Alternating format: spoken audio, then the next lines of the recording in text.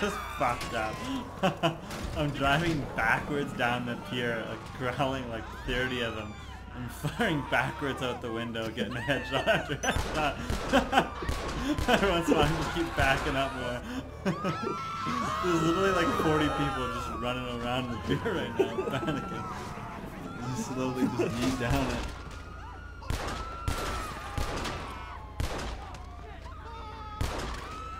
This is fun.